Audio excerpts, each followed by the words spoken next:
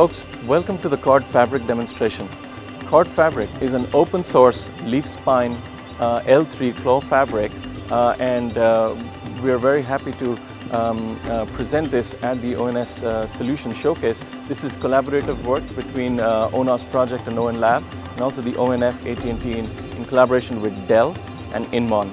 Okay, so very quickly, uh, we all know that in today's telco central offices, um, there is a there is a huge uh, capex and opex issue, and it's not uh, as it has developed over many years. There is an issue with uh, it being not very agile or very programmable, but very importantly, it does not benefit from commodity hardware. And so uh, the, the design behind Cord is that we take all of those individual pieces of hardware and then move it into one infrastructure. And uh, so you can see that we can leave some things in hardware, such as the VoLT case that you heard about before, but also we can move a lot of functionality into the software and then the backplane that norm, uh, that connects all of these pieces of software is the leaf spine fabric. So we want to re-architect uh, the central office as uh, a data center and the leaf spine fabric is the backbone of the data center. Um, so this talk is about uh, the fabric itself and what we have shown here is that what we have one physical rack that we have four different racks in it um, where each rack talks to its top of rack switch and then the top of rack switches are all connected to uh, the spine switches in the middle. So this graphical user interface essentially shows uh, the leaf spine fabric um, and uh, from, from the controller's perspective, um, uh, that is the ONOS controller. So we're going to go now to the live uh, graphical user interface uh, of ONOS.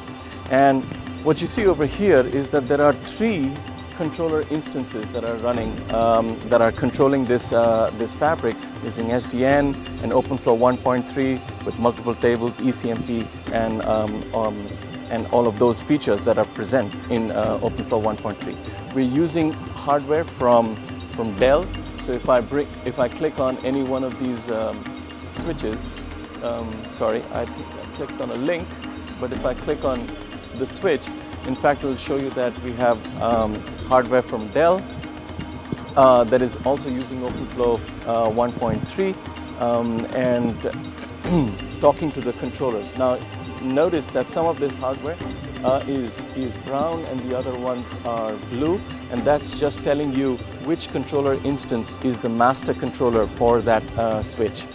What you also see here is that these are the four racks with many servers and VMs in those racks and uh, they're all, um, there is live traffic going through the network. So this visual is giving you essentially a heat map of uh, uh, the utilization of uh, the network.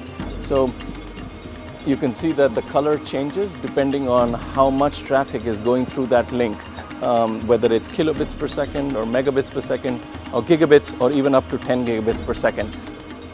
Now, uh, these, what's happening over here is that traffic going from one rack to the other rack is going up to the top of the rack switch and then getting hashed out uh, to the spine switches and then coming back down uh, to the other rack. Now internally, uh, we use a technology called segment routing uh, that is essentially uh, source routing using a stack of labels. And um, the label stack that you impose on traffic completely determines the path that the traffic takes through the network. Um, but this heat map, if you have lesser traffic involved, uh, then basically what it's showing you is the actual flows going through the network. So if you concentrate between uh, these two racks, what you can see is that there are, there are two flows that are going through this network. One that is going up uh, to that spine and coming down, and the one that is going up to uh, spine 107 and coming down uh, to the same rack. So that's that ECMP that is going on, but we have complete control over um, uh, the paths that uh, this traffic can take through the network. So right now we have left it up to the switch to determine the path because it's doing ECMP hashing on these flows and sending it up to any one of the spines. But you can imagine that if uh, the network operator desired to send a particular flow up to a particular spine, we have complete, control to do that. So for example, what we're going to do right now is we're going to take one of these flows, okay, and then move it over to a completely different spine. And so, um, Sango, we're going to send in a command which essentially says uh, that instead of going up to that one, okay, we, we are going to make it uh, move to another um, spine switch just by changing the label assignments that we impose on that traffic uh, at uh, the source switch. This is that source-based segment routing. And as you can see, as now the statistics have caught up, so it takes uh, the statistics are on a polling level and it takes a while for it to uh, actually show what's going on in this network. But now you can see that the flow that was actually going through here has moved over uh, to uh, spine 108. And if we remove this policy, so this is a way to do policy-based routing um, uh, in this network. If I remove the policy, it will go back to doing what it was doing by default, which is uh, just the default hashing that happens uh, in this particular switch.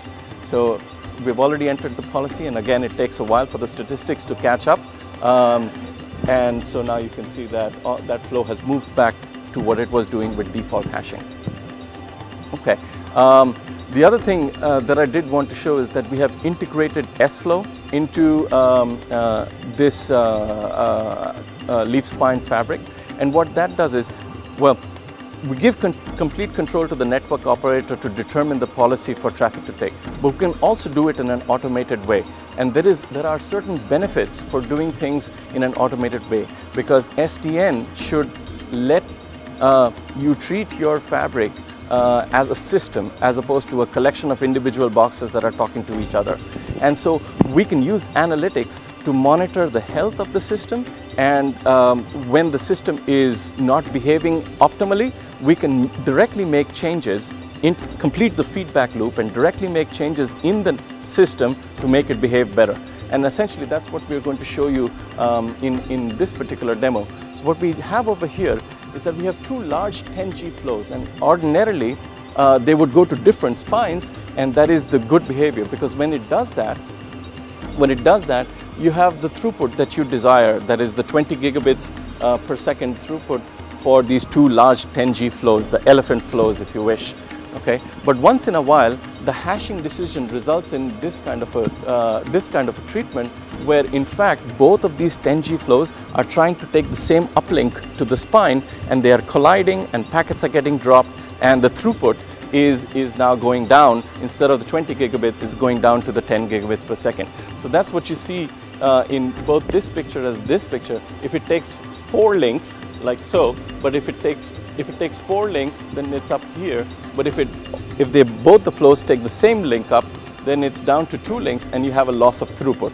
So in this particular picture, we have turned this button off, which means that we have broken this link. So the analytics engine is understanding which flows are colliding, but it cannot take any direct action because, because this link is broken, okay?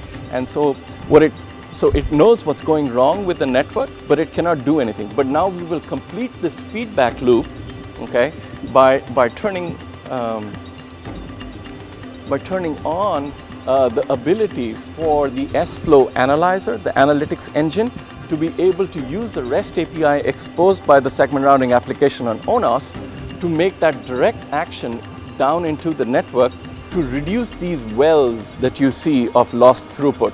So if we wait, so right here, so right, uh, okay, so right here you had seen that the sFlow analyzer now use the REST API in an automated way to tell ONOS to take direct action so that you no longer, so anytime it detects this collision, it can overcome it by moving one of these flows away. And, and uh, so the resultant is that we no longer see these deep wells of lost throughput uh, in the network. So this is something uh, uh, we are very happy that we have this analytics engine. We've worked closely with Inmon uh, to build it into the leaf spine fabric. Now one other aspect that I do want to show you uh, is that uh, I want to, I want I want to show you the ability to, to do recovery in this network while using, uh, so we'll start with the control plane recovery. Guys, if you can, uh,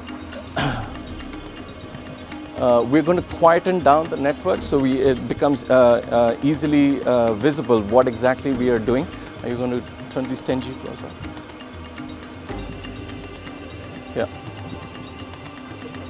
Okay, so what you're seeing over here is that we're going to turn down one of these controllers.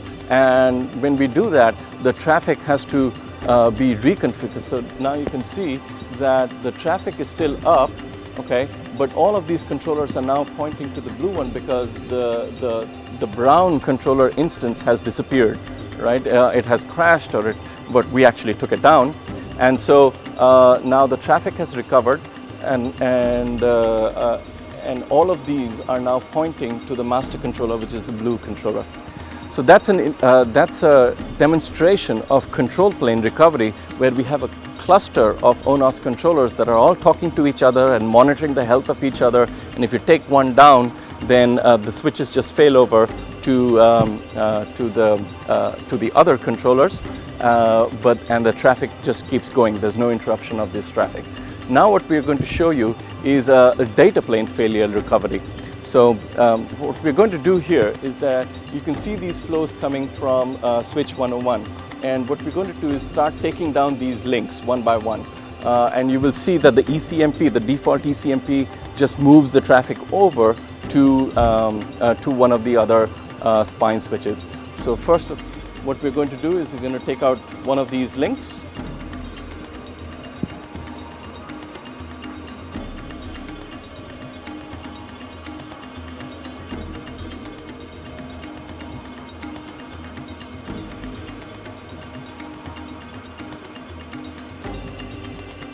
Okay, so we just shut down one of these links and, and the flow that you saw going through that link has already been hashed over to one of the other links, but um, we, we also have to wait for the statistics to catch up.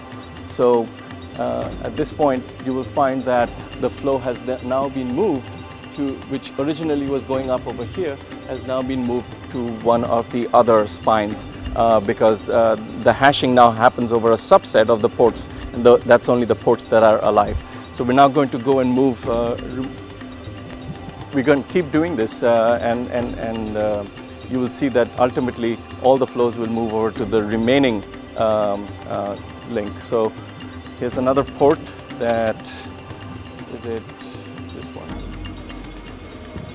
Okay. Okay, so we're going to shut down another one.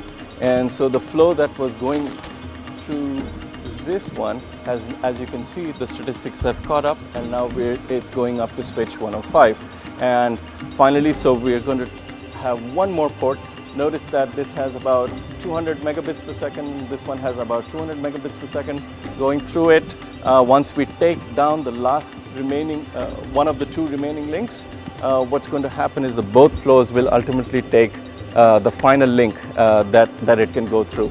So we're going to take, remove one more and what you should see that this flow, as soon as the statistics catch up, you'll see that this uh, flow gets moved over to the remaining uplink like so and you can see that the statistics now show that both flows, both 250 megabits flows are now going through the final uplink. Folks, uh, this is CORD Fabric. Uh, in one physical rack, uh, we are actually showing four different racks. Um, so this is rack number one uh, with its servers uh, talking to its top of rack switch. Uh, this is rack number two, number three and number four. So you can see that each rack, the servers in the rack and the VMs in those servers uh, talk um, to other racks via the top of rack switch and then these four top of rack switch are then connected uh, are, each of them are connected to each of the spine switches which you see in the middle. So for packets to go from one rack to another rack, the packets go up to the top of rack switch, get hashed to any one of the spines and then come back down uh, to the top of rack switch on another uh, rack. Uh, and what we have up here are uh, two uh, servers that are uh, where we have our controller VMs and also the analytics VM that is doing the sFlow monitoring of the traffic uh, going between the leaves and the, and, and the spines. And so um, the analytics VM then talks to the controller VMs and the controller VMs can then take uh, direct action. So that's it folks.